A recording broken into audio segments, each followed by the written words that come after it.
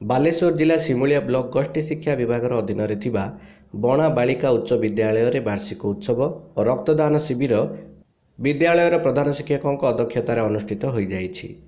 ଏହି ଉତ୍ସବରେ ମୁଖ୍ୟ ଅତିଥି ଭାବରେ ଶିମୁଳିଆ ବିଧାୟକ ତଥା ଓଡ଼ିଆ ଭାଷା ଓ ସଂସ୍କୃତି ମନ୍ତ୍ରୀ ଜ୍ୟୋତିପ୍ରକାଶ ପାଣିଗ୍ରାହୀ ଯୋଗ ଦେଇ ପ୍ରଦୀପ ପ୍ରଜ୍ୱଳନ କରି ରକ୍ତଦାନ ଶିବିରକୁ ଉଦ୍ଘାଟନ କରିଥିଲେ। ପରେ ବିଦ୍ୟାଳୟର ବାର୍ଷିକ ଉତ୍ସବ ସଭା କାର୍ଯ୍ୟ ଆରମ୍ଭ ହୋଇଥିଲା।